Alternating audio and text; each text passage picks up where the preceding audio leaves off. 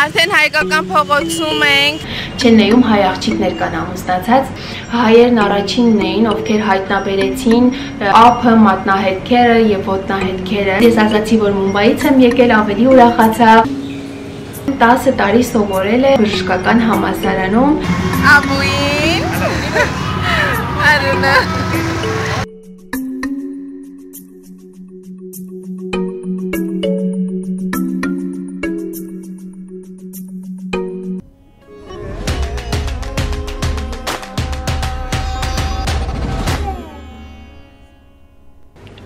Ջերմ բարևներ բոլորին Հնդկաստանից, ձեզ հետ Հասմիկն է։ Դեպի Չեննեյ ճամփորդության թեմա շարունակելով, այսօր ուզում եմ ձեզ տանել Մադրասի այժմյան Չեննեյի հայկական եկեղեցին տեսնելու, որը կառուցվել է 1712 թվականին։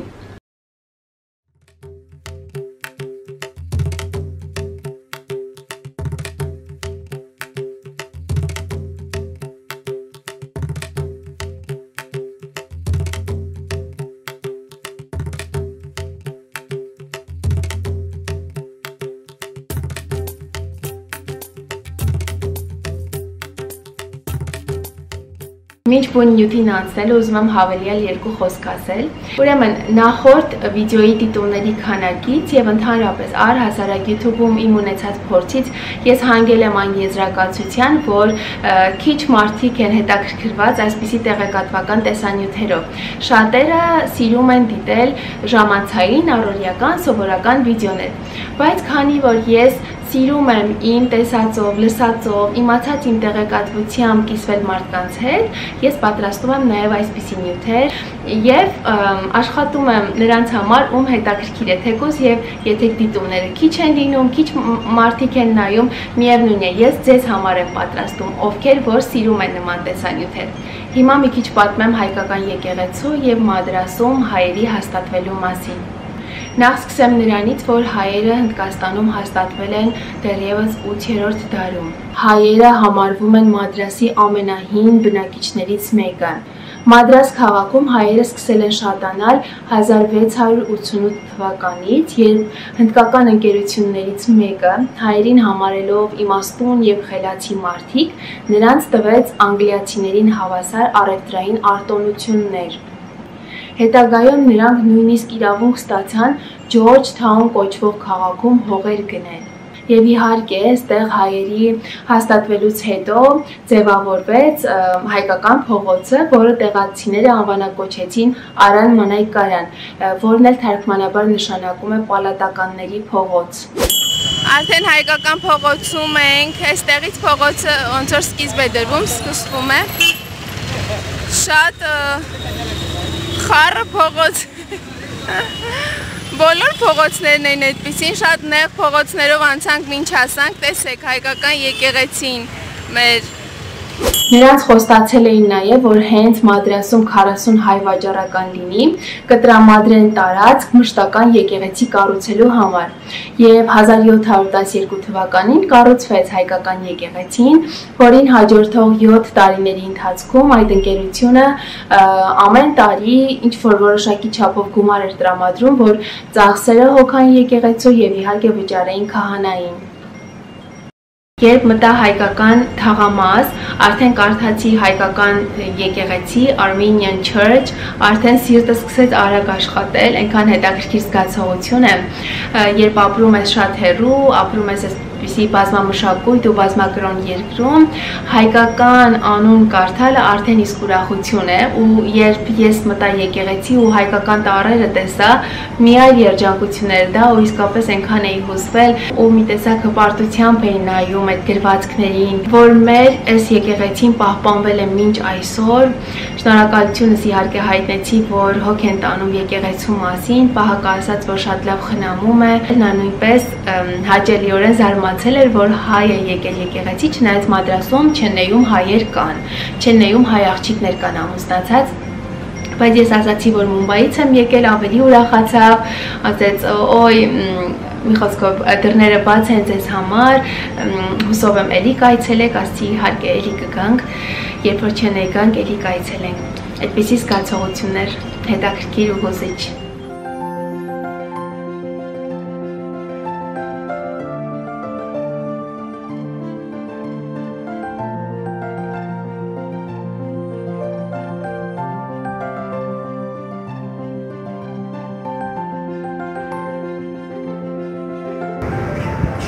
Chinyachin.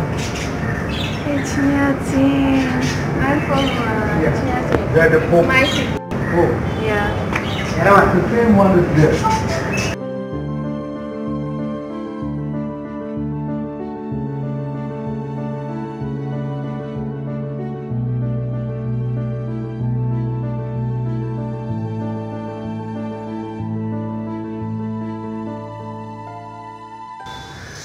Զգացմունքներս չգիտեմ ոնց արտահայտեմ, անչափ հուզված եմ, անչափ։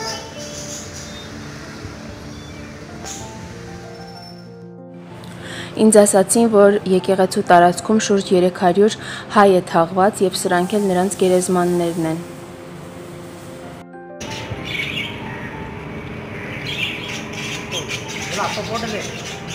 Եկեղեցու աշխատողներից է, ասում է, որ շատ լավ խնամում եմ եկեղեցին, այգին, ծառեր ու ծաղիկներ եմ տնկում։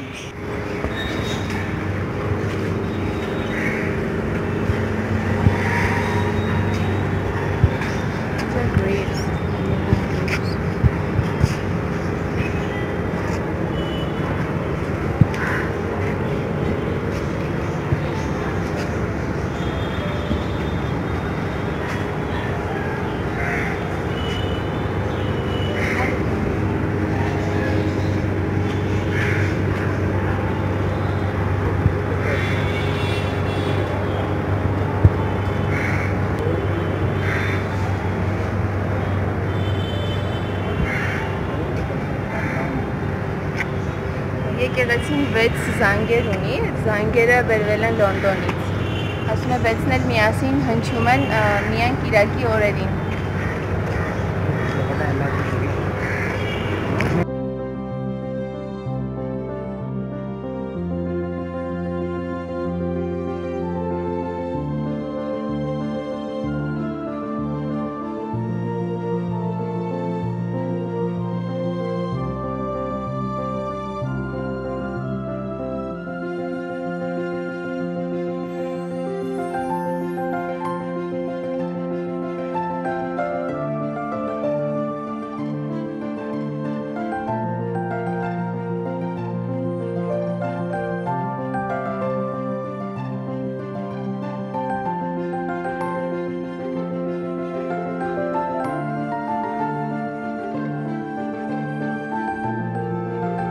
Այս բոլորը գերեզմաններ են, հայեր են թաղված այստեղ։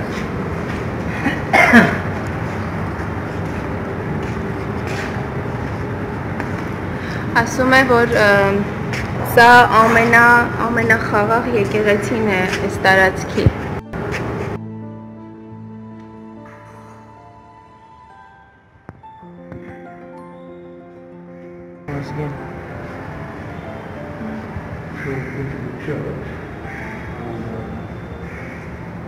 it. ա, Մայրամ Աստվածածի եւ ա, փոքրիկ Հիսուսի պատկերը։ Մայրամ Աստվածածինը ա, հրաշամանուկին տանում է երկինք։ Ասում է, որ սա միայն այս եկեղեցում է պատկերված, չես գտնի աշխարհի ոչ մի եկեղեցիներում։ Ա, Այս տեսակ պատկեր։ Հետաքրքիր է։ So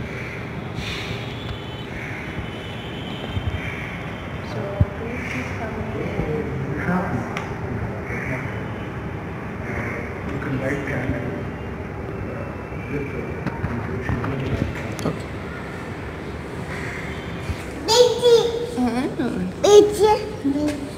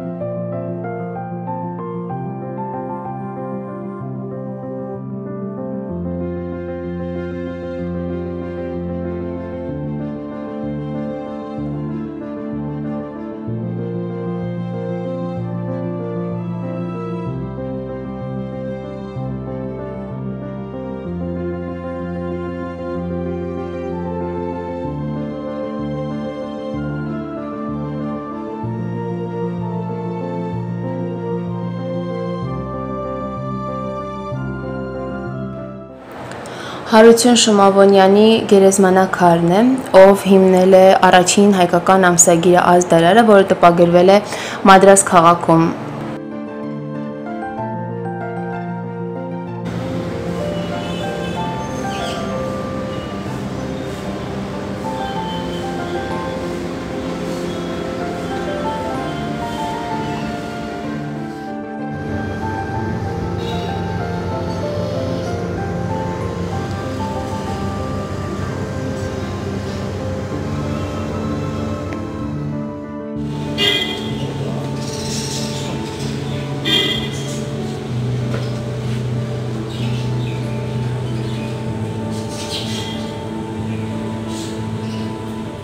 Եկեղեցու պահակը տարածքի մասին հողտանողն ու հսկողը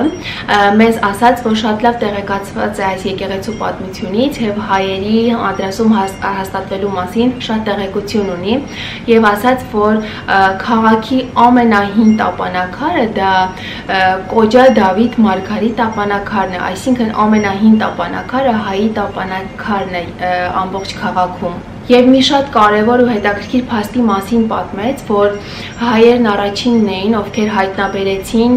Հիսուս Քրիստոսի առաքյալներից Թովմասի գերեզմանակարը այստեղ Մադրասում եւ պորտուգալացիներին ցույց տվեցին այդ տեղը։ Հետագայում պորտուգալացիները այդ գերեզմանի վրա կառուցեցին եկեղեցի, իսկ դրանից հետո ավելի ուշ բրիտանացիները այն վերակառուցեցին եւ վերակառուցեցին, այսինքն կառուցեցին բրիտանական ոճով եկեղեցի։ Ասում են, որ այդ Լեռան գագաթին, որտեղ Թովմաս Արաքյալի գերեզմանն է եղել, այդտեղի եկեղեցին ծառայել է որպես փարոս հայկական եւ պորտուգալական առևտրական նավերի համար։ Հայերը հիմնականում զբաղվել են մետաքսի, համեմունքների եւ թանկարժեք քարերի առևտրով։ Մադրասում գտնվող Թովմաս Արաքյալի անվանած եկեղեցին աշխարհում թվով երրորդ եկեղեցին է, որը կառուցվել է Քրիստոսի Արաքյալի գերեզմանի վրա շատ կցանկանայի գնալ այդ եկեղեցին նույնպես, բայց ժամանակի առումով չկարողացանք տեղավորվել, որովհետև 1 ժամ ու կես 2 ժամ ճանապարհ դեռ պիտի յետ գնայինք, մի քիչ հանգստանայինք ու երեկոյան պլան ունեինք հանդիպելու մեր ընկերներից մեկի հետ եւ հաջորդ օրը պիտի վերադառնայինք արդեն Մումբայ։ Ես վստահ եմ, որ ելի առիթ կունենամ Չեննեի գնալու, որովհետև ամուսնուս բարեկամները այնտեղ են, Թամիլնադու նահանգում են, եւ այս անգամ անպայման գնալու եմ նաեւ Սուրբ Թովմասի եկեղեցի եւ անպայման այցելելու եմ նաեւ Թովմաս Արաքյալի անվան քարանձավ։ Այս քարանձավի մասին ինչ են պատմում։ Ասում են, որ Թովմաս Արաքյալը եկել է Թամիլնադու, որպիսի պատմի Հիսուս Քրիստոսի մասին, այնտեղ իր, իրեն հետապնդել են, ինքը անցել է քարանձավի միջով, այդտեղ ձերքի հետքերը կան, ափը, մատնահետքերը եւ ոտնահետքերը, այնտեղ քարն է նույնիսկ պահպանվել, որի վրա աղոթել է Թովմաս Արաքյալը։ Հետո վերադարձանք տուն, մի քիչ հանգստացանք ու գնացինք մեր ընկերոջը հանդիպելու։ Եկել ենք մեր ընկերոջը հանդիպենք, Աբուին։ Արունը Մեր ընկերը Աբուն 10 տարի սովորել է Հայաստանի պետական բժշկական համալսարանում, հայերենի լավ տիրապետում է, շատ մտերմացել ենք, մի խոսքով շատ լավ շատ լավ տղա է։ Այդպես հանդիպեցինք, զրուցեցինք, հին ու բարի օրերի մասին, հիշողությունների մասին խոսեցինք, Երևանում շատ սիրուն օրեր ենք ունեցել միասին հիշողությունների գիրկը ընկանք մի քիչ, լավ ժամանակ անցկացրեցինք ու վերադարձանք, հաջորդ օրը արդեն թռիչքով վերադարձանք Մումբայ։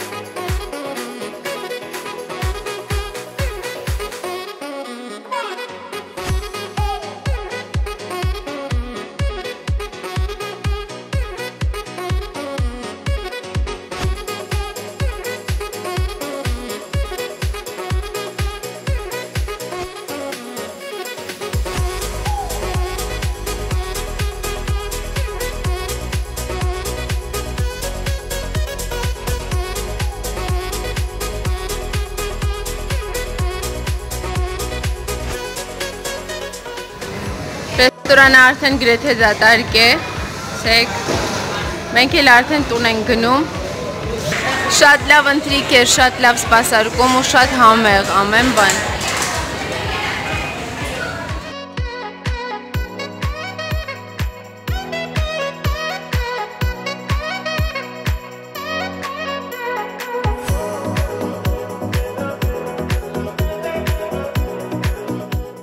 Չենեի օթանավակայանում ենք արդեն, վերադառնում ենք Մումբայ։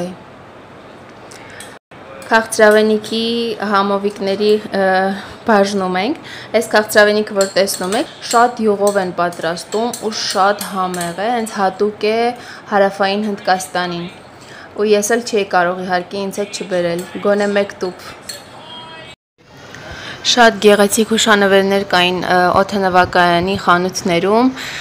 քիչ եմ նկարել, բայց շատ խանութներ ենք մտել։ Հենց հարավային Հնդկաստանին հատուկ հուշանվերներ, մեկը մյուսից գեղեցիկ ու խորհրդանշական։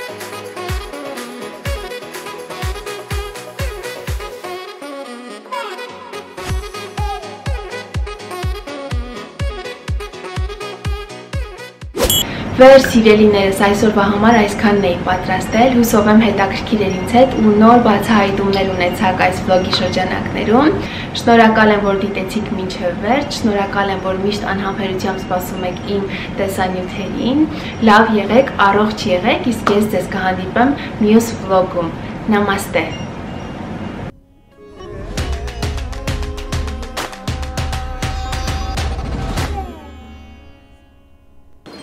Ժողովուրդ մեկ անց 20-ը գիտեք գիշերը։ Ես նստած վիդեոն նկարում, որովհետև օրվա մեջ կեսօրին չի լինում ազատ ժամանակ ու չի լինում խաղաղ ժամանակ, որ գլուխս հանգիստ լինի, խաղաղություն լինի ու ես կարողանամ կենտրոնանալ ու նկարել։ Դրա համար ես ժամը մեկ անց կես վիդեո եմ նկարում ու շոկ պայմաններում, որովհետև կոնդիցիոներն չի օգնում հիմա, որովհետև ես մի քիչ հեռու եմ նստած, ավելի շատ են կողմապիչում, ես այս անկյունում եմ նստած, այս անկյունում ինձ ավելի հարմար եմ զգում, որովհետև լույսը ավելի լավ է, մի խոսքով ինչ որ անընդհատ այս աթափողիչի միացնում անջատում էի, միացնում էի քիչ հովանայի, հետո անջատում էի։ Մի ոսկոր քունը ստանում է, գնամ քնեմ։ Այս ժամին, այս օրվա հոգնածության հետ միասին, վերջում օրվա վերջում ինչքան է չէ հոգնում ու հիմա իրոք իմ ուղղակա ցավում է։ Գնամ պարկեմ, բարի գիշեր։ Մոռացա ասեմ, որ կոմենտներում գրած ձեր հարցերը մոտս պահպանելու եմ ու հարցը պատասխան վիդեո եմ անելու։ Այնքան հետաքրքիր տարատեսակ հարցեր են գալիս հնդկական մշակույթի հետ կապված, այնտեղ անցած տեսանյութից հարցեր են ցակել մարդկանց մոտ, թե եթե տավարի միշտ չեն ուտում, կովին ինչ են անում, կովին որտեղ են, երբ ծածկում են ինչ են անում եւ այլն եւ այլն։ Շատ հարցեր կա, որոնք որոնց չեմ ուզում կոմենտով պատասխանել, կգրեմ մոտս, որ հարցը պատասխան դարձնեմ, որպես ավելի բովանդակալից իրեն ձևով ներկայացնեմ։ Այ հիմա իսկապես բարի գիշեր։